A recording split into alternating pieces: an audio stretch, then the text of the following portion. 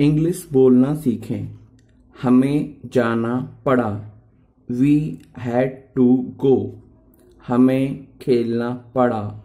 We had to play हमें कहना पड़ा।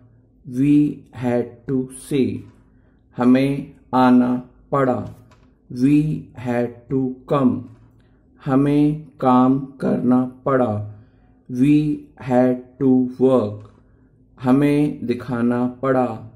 वी हैड टू सो हमें समझाना पड़ा।